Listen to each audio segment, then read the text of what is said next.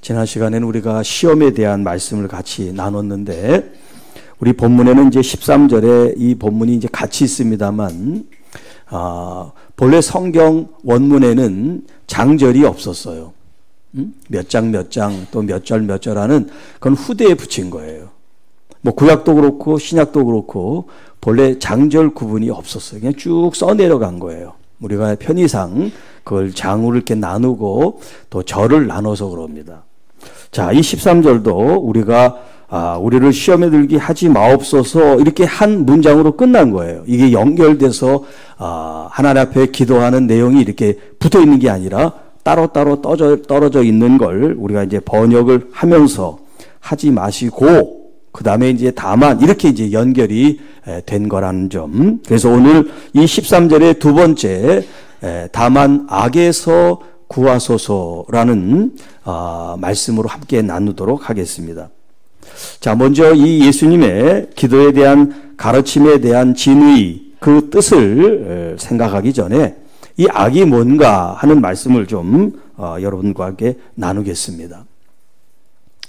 어, 악이라고 하는 이 개념은 어, 선이라고 하는 개념과 서로 대립되는 어, 그런 아, 이제 개념이라고 할 수 있어요. 그러니까 악하면 선이 필요하고 또 피, 선이 있으면 이 악이라는 것이 예, 존재하는 거예요. 마치 빛과 어둠이 따로 떨어져 있는 것이 아니라 같이 에, 같이라는 표현이 있는 하여튼 빛이 있는 그것은 이제 어둠이라고 하는 것을 전제로 하기 때문에 이 마찬가지로 선과 악이라는 것도 그와 같은 거다.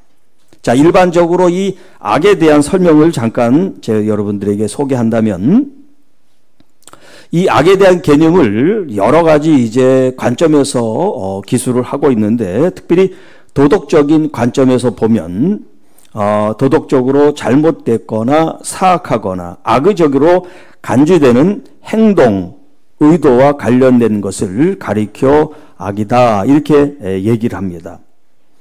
또 그 의도가 아, 또 동기가 아, 사람들을 해치고 어, 속이는 그래서 피해를 입히는 것이면 그것은 악이다라고 이렇게 얘기를 합니다.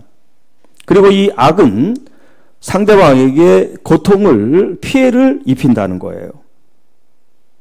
그런데 이 악이 문화적 상대주의라는 것이 있어가지고 어느 문화에서는 그것이 악이 아닌데 어떤 문화에서는 또 그것이 악이 되는 게 있어요.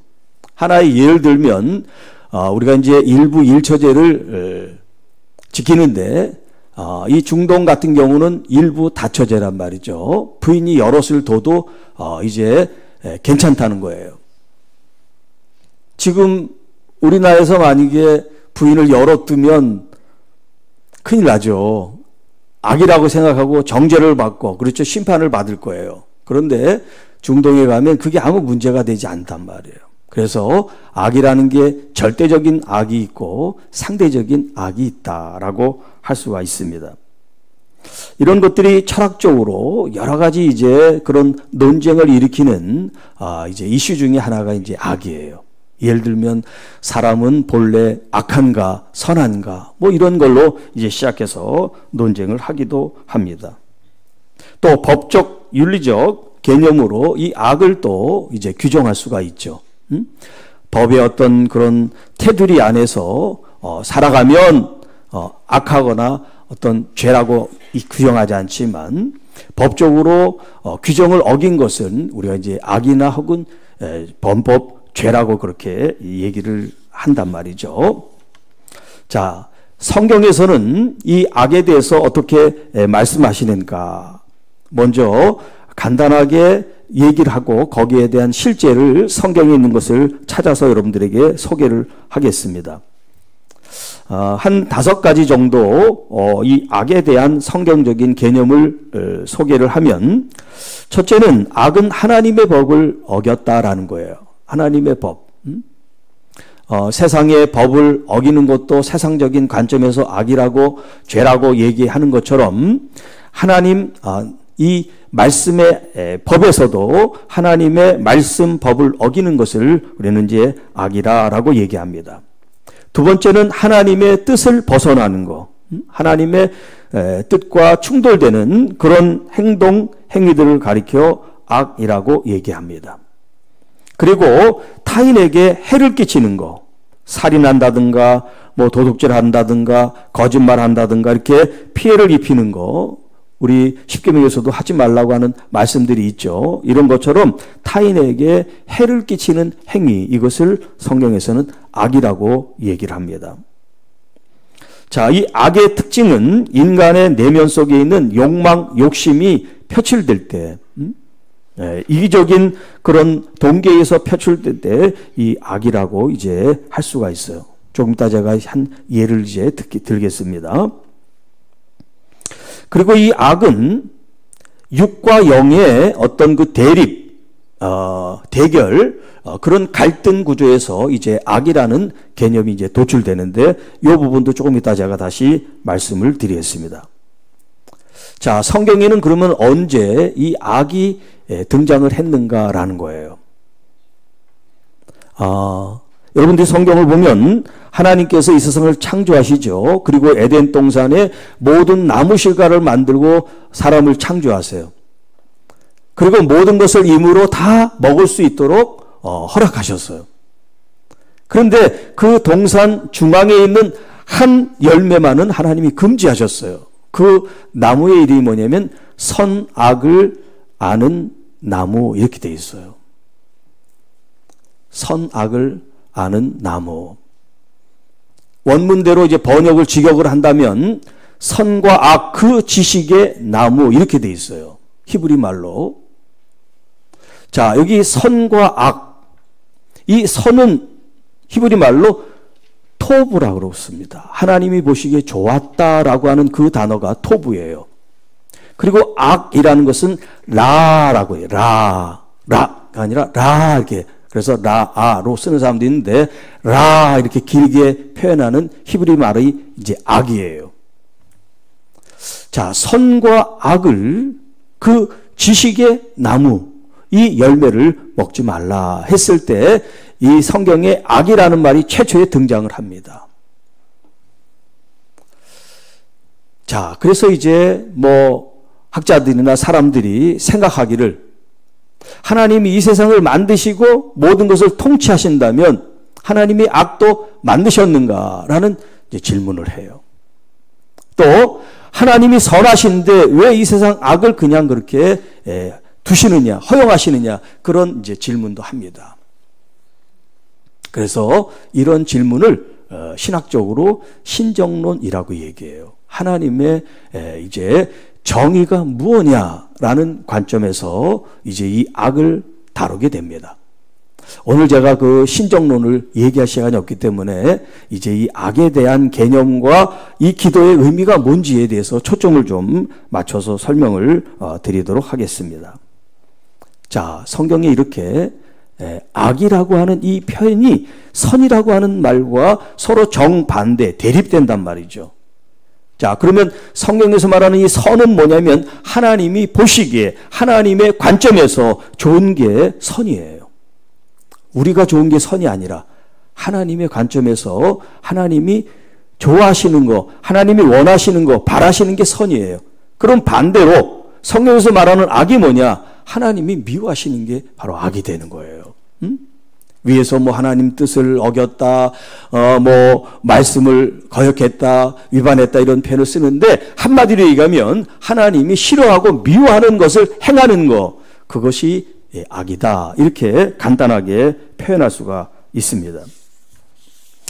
자, 그래서 하나님께서 만드신 이 인류의 가장 큰 재앙이 어느 때냐면 노아의 홍수 사건입니다. 노아의 홍수 사건.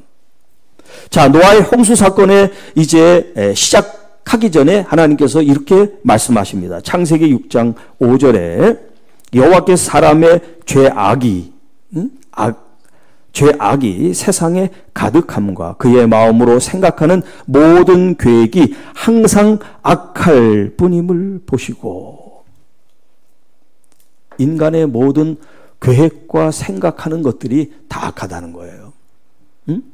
응? 하나님께서 사람을 창조하셨지만 이 선악과를 먹은 이후에 죄를 지은 인간은 이제 그 죄 가운데 태어나기 때문에 모두가 다 이제 악한 존재가 됐다는 그런 표현이 되겠습니다.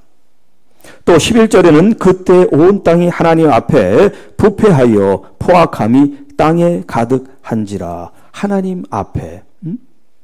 하나님이 보시기에 그들이 악이 충만했다라고 표현하고 있어요. 그래서 13절에 하나님이 노아에게 말씀하십니다. 모든 혈육 있는 자의 포악함이 땅에 가득함으로 그 끝날이 내 앞에 이르렀으니 내가 그들을 땅과 함께 멸하리라. 이게 이제 하나님의 그 대홍수의 심판입니다. 그러니까 이 악이라고 하는 것은 하나님이 만든 것이 아니라 우리가 하나님의 말씀에 순종함으로써 그 악을 이겨야 되는데 이 인간의 시작인 아담과 하는 그러지를 못했단 말이에요. 하나님께서 주신 그 많은 것들을 누리고 또 그 안에서 자유함을 누릴 수가 있는데 그 한 가지, 하지 말라고 금지한 그 한 가지를 행함으로써 악을 범하고 이 땅에 악을 끼치게 되었습니다. 자, 이 하와가 그냥 갑자기 그걸 따먹은 게 아니잖아요. 응? 가장 간교하고 간사한 뱀이 지금 유혹을 했단 말이에요. 하나님께서 다 먹지 말라고 하느냐? 응? 먹어도 죽지 않는다. 하나님의 말씀과 다른 말을 했을 때, 아니야, 하나님 말씀이 내가 따라야 될 말씀이야 라고 했다고 하면 악을 범하지 않았을 텐데 이 뱀의 말을 들었단 말이에요.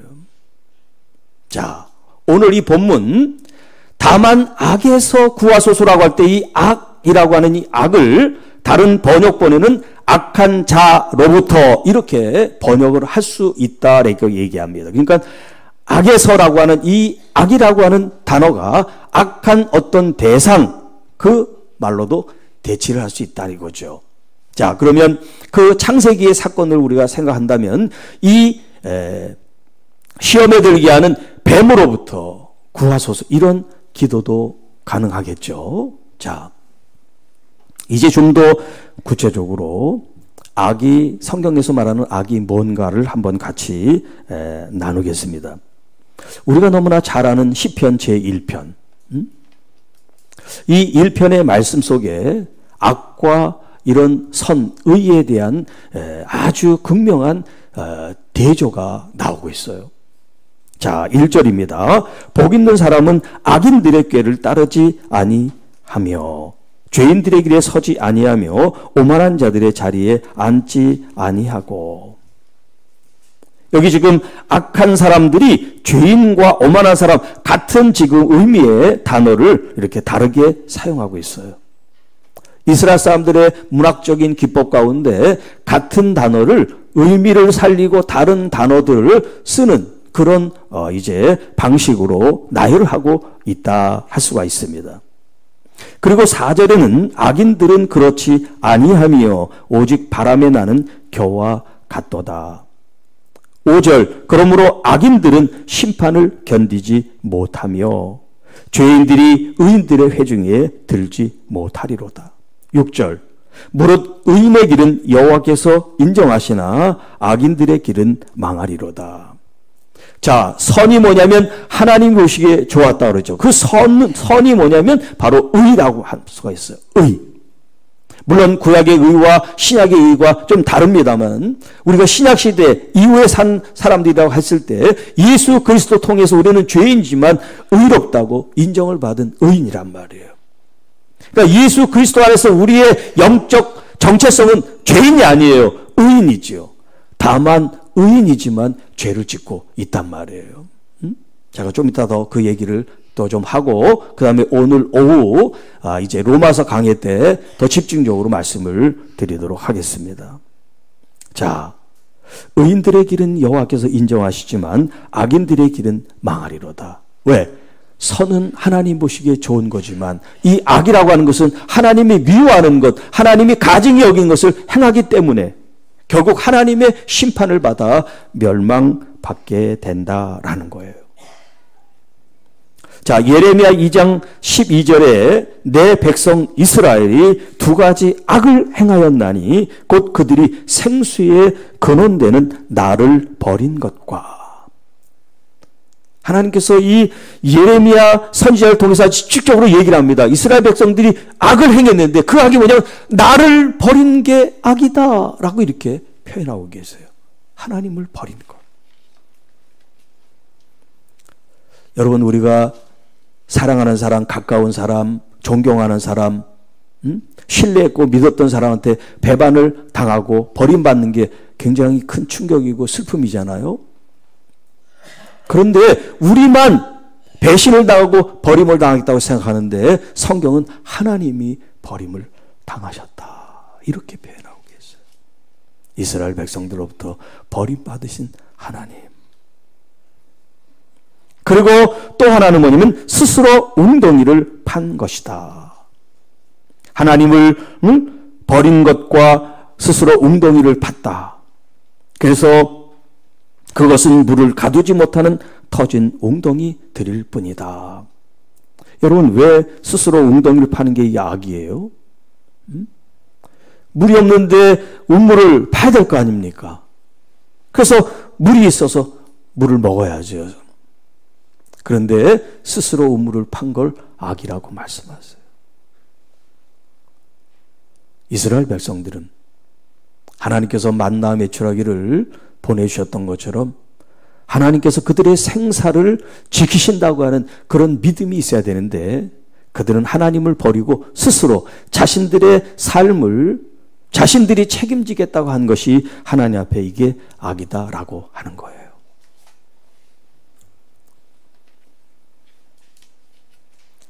그리고 좀 전에도 말씀드렸지만 우리 어떤 인간 욕망, 욕심 이것이 이제 악이라고 하는 그런 표현을 썼는데 에베소서 2장 3절 말씀에 전에는 우리가 다 그 가운데서 우리 육체의 욕심을 따라 지내며 육체와 마음에 원하는 것을 하여 다른 이들과 같이 본질상 진노의 자녀였다라는 표현을 쓰고 있어요. 우리가 예수 그리스도를 믿기 이전에 우리는 육체의 욕심대로 살았던 사람들인데 그렇기 때문에 하나님의 진노를 받을 수밖에 없다라는 그런 표현을 쓰고 있어요. 그리고 갈라디아서 5장 16절부터 18절에는요. 너는 성령을 따라 행하라 그러면 육신의 육체의 욕심을 이루지 아니할 거다. 육체의 소욕은 성령을 거스리고 또 성령은 육체를 거스리고 서로 대적이 된다라는 표현을 하고 있어요. 그래서 성령의 인도함이 어, 있으면 율법 아래에 있지 아니하는 것이다 이렇게 표현하고 있습니다. 육체의 욕심, 소욕 영어로 이제 디자이어라 그러는데 어떤 열망 이런 열망이 성령과 부딪힌다는 거예요. 그것이 부딪히지 않으면 정말 성화된 사람이죠. 아주 거룩하고 또 어, 온전한 사람이라고 표현할 수가 있어요.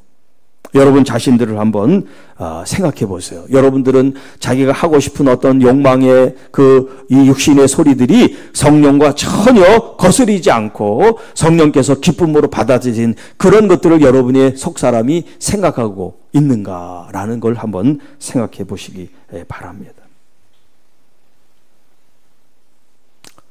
오늘 이제 오후에 로마서에 있는 말씀을 하겠습니다만 이제 그 말씀을 조금 이 본문과 관계되기 때문에 여러분들에게 잠깐 소개를 하면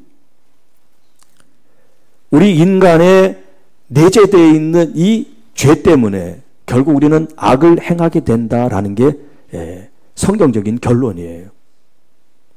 이 땅에서 좀 전에 아까 우리는 의인이다. 의인이지만 우리가 죄를 진다. 그렇게 표현했는데 이 죄가 우리가 죽을 때까지 이 악이 이 악으로부터 죄로부터 완전히 벗어나서 자유함을 얻는 사람은 이 땅에 없다. 이렇게 표현할 수가 있어요. 아무리 신앙생활을 잘해도 우리의 내면 속에 있는 이 죄성이 완전히 제거되지 않는다는 거예요. 그래서 사도 바울이 뭐라고 표현합니까? 오호라 나는 권고한 사람, 비참한 사람이다. 그렇게 얘기한단 말이에요.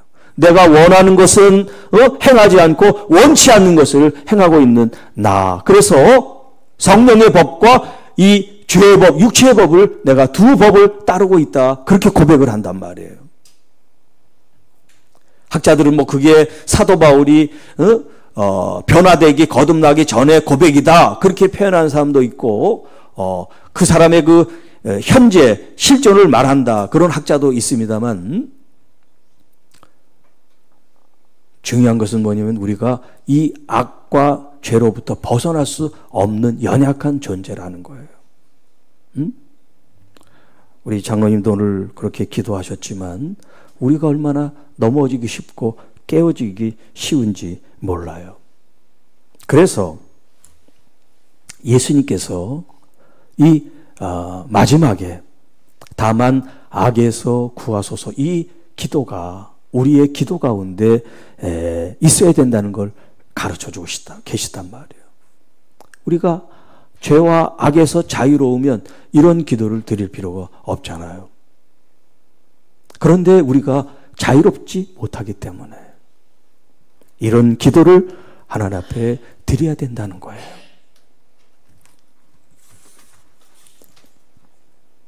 자, 그러면 기도로, 기도만 하면 이 악이 해결되는가? 그건 아니죠. 기도하는 것과 또 기도에 맞는 삶을 사는 것은 누구의 몫이냐면 바로 우리 나 자신의 몫입니다. 하나님께 기도하지만 난 아무것도 안 하고 기도만 하는 그 모습이 아니라 기도하지만 기도의 삶처럼 살려고 성령으로 여러분들이 더 가까이 가까이 나가는 그런 삶이 우리에게 요구되어진다라고 할 수 있습니다. 자, 이 악을 이기는 방법을 성경은 이제 여러 가지를 제시하고 있는데 가장 쉬운 말씀으로 여러분들이 잘 알고 있는 말씀 뭐냐? 로마서 12장 17절 21절. 아무에게도 악을 악으로 갚지 말고 모든 사람 앞에서 선한 일을 도모하라. 악에게 지지 말고 선으로 악을 이겨라. 자, 내 생각, 내 어떤 욕망, 어, 이게 기준이 아니라 하나님이 보시기에 좋은 것이 기준이 되어야 우리가 이 악을 이길 수가 있다는 거예요. 다른 사람이 우리에게 폭력을 행사하고 또 어떤 내 어떤 그런 어 재산이나 혹은 내 신체에 어떤 피해를 가하는 사람들이 있을 때 나한테 하나를 응? 행하면 나는 열 개로 갚아줄게. 그런 보복하는 심리가 아니라 그 사람이 나한테 그런 행동을 했다 해서 똑같이 되갚아주는 게 아니라 오히려 선한 마음, 선한 동기, 선한 목적을 갖고 말하고 행하는 그런 여러분들이 되기 위해서 우리에게는 말씀이 필요하고 성령이 필요하다는 거죠. 왜냐하면 우리는 그렇게 못하니까요. 우리 스스로, 우리들 자신들이 그렇게 해낼 수가 없단 말이에요. 왜냐하면 음, 나를 미워하고 나에게 해를 끼친 사람들을 나도 똑같이 미워하고 똑같이 복수하고 똑같이 음? 풀고 싶잖아요. 그런데 성령께서 말씀으로 그걸 그렇게 하지 말라 그러니까 그 갈등이 얼마나 심하게 심하다는 거죠. 두 번째 로마서 8장 13, 14절에 너희가 육신대로 살면 반드시 죽을 것이로되 영으로서 몸의 행실을 죽이면 살리니 무릇 하나님의 영으로 인도함을 받는 사람은 곧 하나님의 아들이라. 그래서 그리스도의 영 성령님이 계시지 않으면 그리스도의 사람이 아니다. 이런 표현을 쓰고 계시단 말이에요. 그 성령께서 우리에게 임하셔서 보혜사 성령이 우리에게 임하셔서 성령님이 우리에게 계시다는 게 얼마나 음? 감사한 일인지 몰라요. 놀라운 하나님의 선물이라고도 할 수 있어요. 그래서 음, 초대교회 성도들이 성령으로 충만하고 말씀과 믿음으로 충만했기 때문에 악과 이 죄를 이기고 승리하게 되었다는 것을 우리에게 가르쳐 주고 있습니다. 여러분 이 악은 오늘 이렇게 배우고 알았다고 해서 끝날 문제가 아니라 계속해서 반복되고 또 재현되는 그런 어, 모습 속에 우리가 날마다 선택을 하는 거예요. 하나님을 기쁘시게, 하나님 보시기에 좋은 것을 선택할 수 있는 사람들이 될 때에 우리는 악을 선으로 이기는 사람들이 될 수 있을 줄로 믿습니다. 또 우리들 자신의 어떤 그런 응? 가지고 있는 그 습성, 이 하나님을 믿기 전에 가지고 있던 어떤 그런 습성, 이런 것들을 나를 계속해서 악의 구렁텅이로 내모는 그런 습성이 있을 수 있어요. 뭐, 그게 꼭 뭐다라고 한마디로 정의를 내릴 수는 없지만,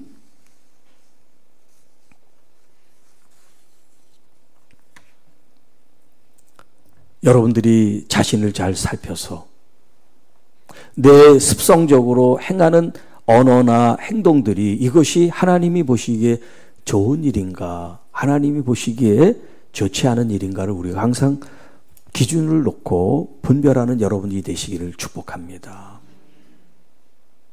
여러분, 우리가 천국에, 음? 어떤 사람이 그렇게 질문을 하더라고요. 왜 하나님은 우리를 천국에서 사람을 창조하고 만드셨으면 이 땅에 이런 악이나 이런 어떤 불평등이나 이런 죄가 없을 텐데 왜 우리를 천국에 만들지 않고 이 땅에 이 지상에 사람을 창조하셨나? 그런 질문을 어, 하더라고요. 왜 하나님은 천국에 완벽하게 죄도 없는 악도 없는 그 세상에 인간을 창조하시지 왜 이 땅에 창조하셔서 죄가 있고 응? 또이 악 속에 살아가게 할까요? 그 질문에 대해서 성경은 뭐라고 뭐 답을 딱 이렇게 얘기하지는 않습니다. 그러나 생각해 보면 여러분 천국에는 너무나 모든 것이 완벽하기 때문에 거기에는 감정도 느낌도 없는 세상이 될 거예요. 아프면 아프다고 슬프면 슬프다고. 뭐 거기에는 눈물도 뭐또 병도 없으니까요. 그런데 이 땅에는 희노애락이 있단 말이에요. 희노애락이 이게 다 나쁜 게 아니에요.